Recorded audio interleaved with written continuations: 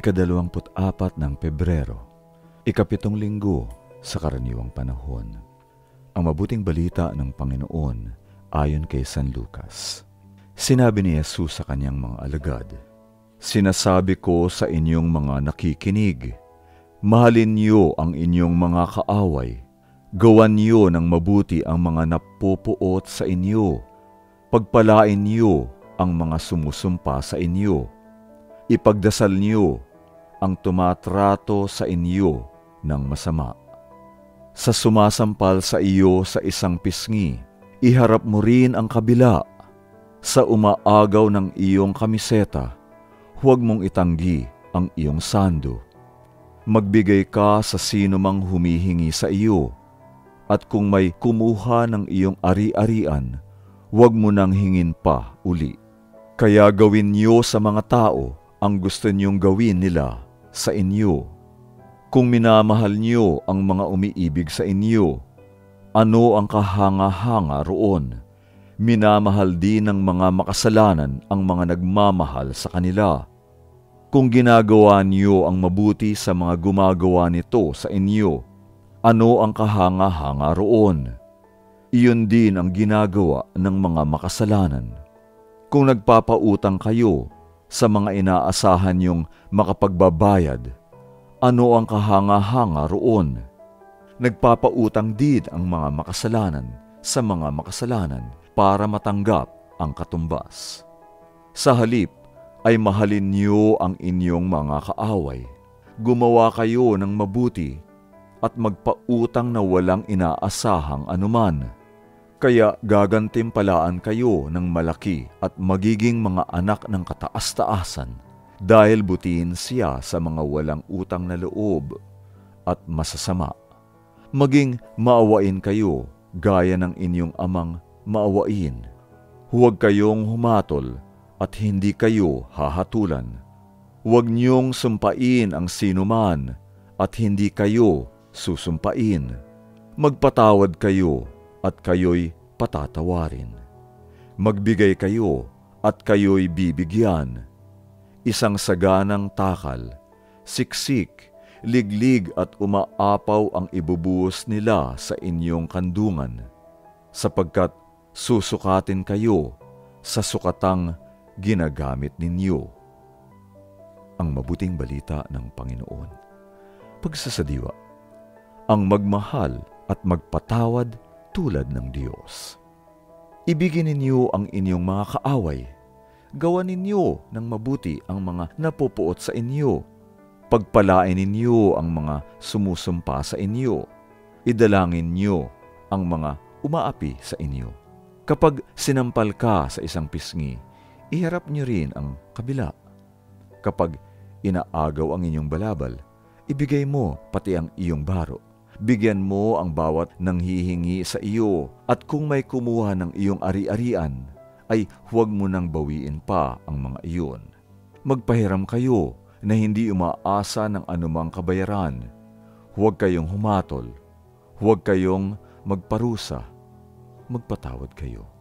Ang mga pangungusap na ito nakasunod ng mga pagpapala sa Ebanghelyo ayon kay Lucas ay panawagan para sa isang radikal na pag-ibig. Mabigat at tila imposible ang hinihingi ni Jesus sa mga alagad. Mas madaling tanggapin ang mga aral na ito ni Jesus kung titingnan ito bilang paglalarawan ng pag-ibig ng Diyos sa atin. Wika nga ni Juan, Ito ang pag-ibig, hindi sa iniibig natin ang Diyos, kundi tayo ang inibig niya at sinugo ang kanyang anak upang maging handog sa ikapagpapatawad ng mga kasalanan. Ang Diyos ay mabuti sa masasama at sa mga hindi marunong tumanaw ng utang na loob. Mahabagin ang Ama sa mga makasalanan, maging sa mga namumuhi at sumusumpa sa Diyos. Nagbibigay ang Diyos sa lahat ng mga humihiling at hindi siya naghihintay ng anumang kabayaran. Hindi sumusuko sa atin ang Diyos at patuloy siyang naghahanap sa atin at naghihintay sa muling pakikipagkasundo niya sa atin. Tunay nga na walang bagay na makapaghihiwalay sa atin sa pag-ibig ng Diyos. Si Apostol Pablo mismo ang nagsabi, Walang anuman ang makapaghihiwalay sa atin sa pag-ibig ng Diyos, pag-ibig na ipinadama niya sa atin sa pamamagitan ni Jesus na ating Panginoon. Maaari nating sabihing madali para sa Diyos ang ganitong pagmamahal dahil ang Diyos ay Diyos at ang Diyos ay pag-ibig. Ngunit dahil tayo ay mga anak ng Diyos, binigyan din tayo ng kakayahang gawin din ang ginawa ni Jesus. Magagawa natin ito dahil ito ang kalooban ng Diyos at walang imposible sa Diyos. Nakatitiyak din tayo na walang hanggan ang kagandang loob ng Diyos at pinagpapala niya tayo. Siksik, liglig at umaapaw.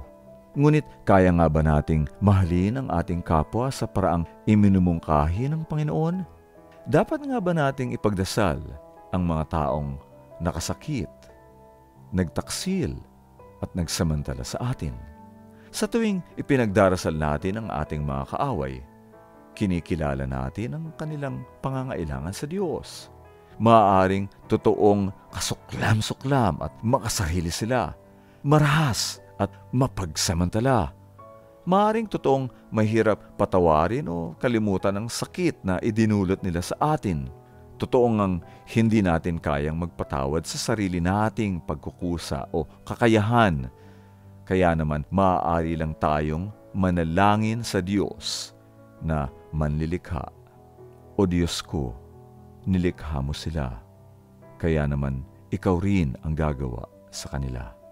Minamahal natin ang ating mga kaaway kapag itinataas natin sila sa Diyos sa paniniwalang para rin sa kanila ang awa, pagpapatawad at pagpapala ng Diyos. Sa ganong paraan, nagiging tunay na mga kapatid tayo ng lahat ng mga anak ng Diyos. Bilang magkakapatid, nararapat lang na mag-unawaan, magpatawaran, magmahalan at magbigayan tayo kahit na sa pagkakataong napakahirap itong gawin.